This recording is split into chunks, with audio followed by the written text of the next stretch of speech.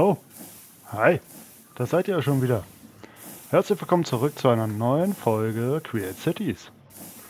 Ihr habt es ja gerade schon gesehen, ich habe gerade aufgeräumt. Und zwar habe ich hier die Steam Engine, die wir gebaut haben in dem Raum, habe ich einmal ein kleines bisschen umgebaut. Das ist aber weiter nicht tragisch, denn das passt perfekt dahin zu dem, was wir heute machen.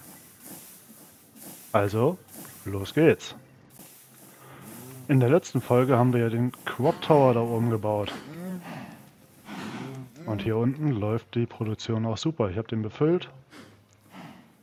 Jetzt baut er, glaube ich, gerade oben. Yep, der, da oben sind Kürbisse und Melonen angebaut. Deswegen stand der gerade. Der wandert jetzt hier gemütlich einmal rum.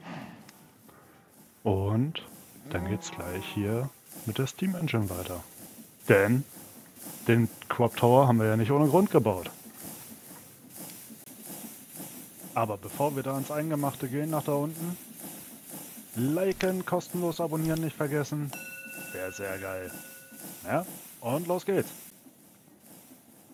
Und da hat der Crop Tower gerade hier vorne entladen. Wunderschön. Falsche Richtung. ähm, jetzt ist grade, sind gerade die Förderbänder leer. Aber warum habe ich das hier überhaupt so gebaut, wie ich es gebaut habe? Das möchte ich euch jetzt erklären. Also, der Crop Tower hier. Hier oben die zwei Ebenen mit Weizen, Zuckerrohr.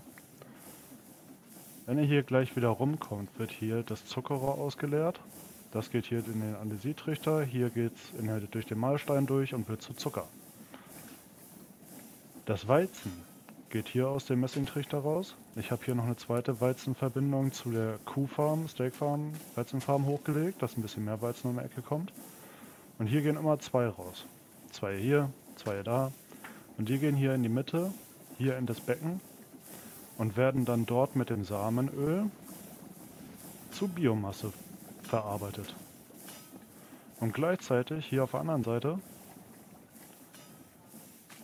werden hier die Weizensamen raus, ausgesondert, also aus, aussortiert, rausgezogen. Und die gehen dann gemütlich hier in das Becken und werden über die Presse zu Samenöl ja, gestanzt, gestampft, wie auch immer. Das Samenöl, da habe ich hier zwei Pumpen. Das geht einmal runter zu dem Blazeburner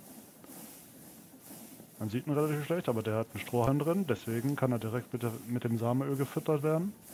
Und hier in das Becken, da geht es hinein, damit die Biomasse produziert werden.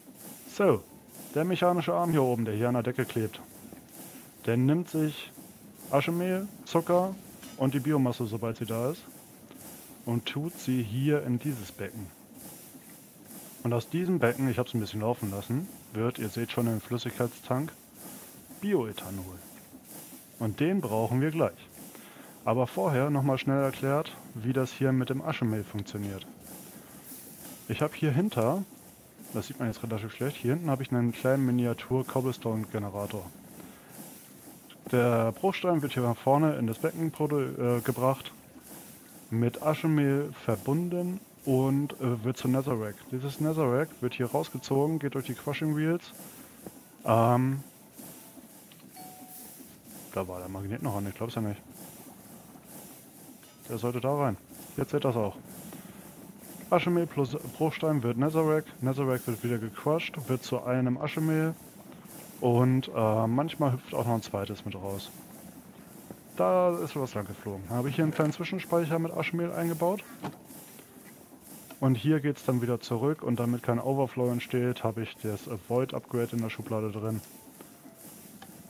Ja, den brauchen wir eigentlich gar nicht mehr. Zack. So. Aber warum den ganzen Spaß?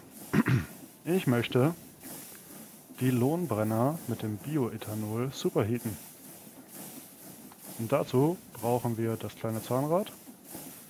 Wir brauchen die hier. Wir brauchen diese Pumpe, die wir dazwischen setzen. So, schauen wir mal, wie schnell ich bin. Das weg. Das weg. Die Pumpe dahin. Halt, nee, gar nicht. Entschuldigung, mein Fehler. Er hier muss da noch weg. Er hier. Perfekt. Zack, zack. Und hier ein Weg. Und schwupps. Sollten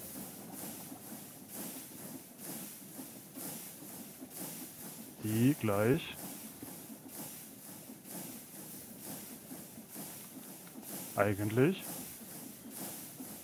superheated werden, aber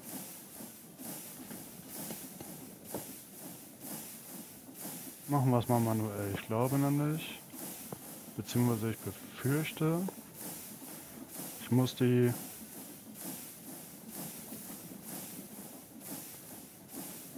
einmal neu setzen.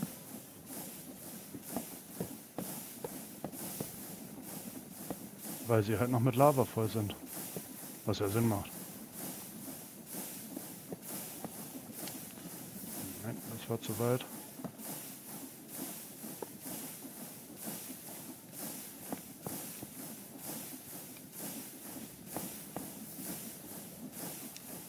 So, jetzt haben wir das. Jetzt noch die andere Seite schnell. Bevor der Server gleich neu startet.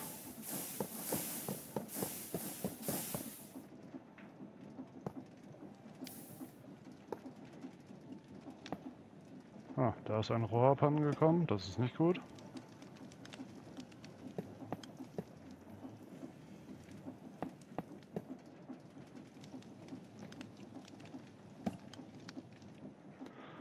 Also dann auf ein neues. Hier muss noch ein Rohr hin, weil sonst wird das nämlich nichts. Und hoch.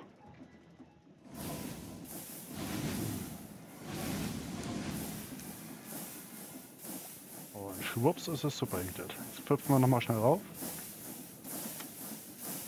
Wie viel Stress Units haben wir jetzt?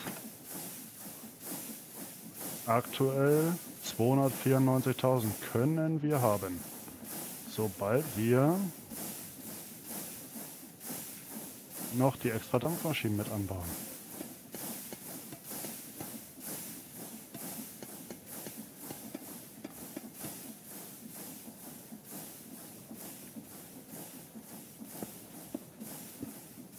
Eins, zwei, drei, eins, zwei, drei, eins, zwei. Server weg! Server wieder da! Dann können wir erfolgreich weitermachen. Denn, wie ihr eben gesehen habt, oh, jetzt sind wir schon da, hatten wir eben 277.000 Stress Units verfügbar. Und jetzt, mit 18 weiteren, die wie ich finde gar nicht mal so schlecht da aussehen, haben wir 570, 572, 573 fast an Stress Units jetzt. Forever! Denn das Ganze ist selbsterhalten und läuft auf alle Ewigkeit. Sofern man es nicht ausschaltet.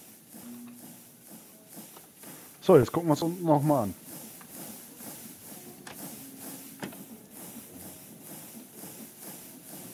Die 18 Blaze Burner laufen jetzt sauber auf Bioethanol. Ich lasse das Ganze mal im Dauertest laufen und schaue mal, wie sich der Füllstand vom Tank hier ändert. Aber mega. Sobald hier vorne der gleich wieder um die Ecke kommt, gibt es wieder ein neues Weizen, das hier vorne wieder weiter zur Biomasse verarbeitet wird.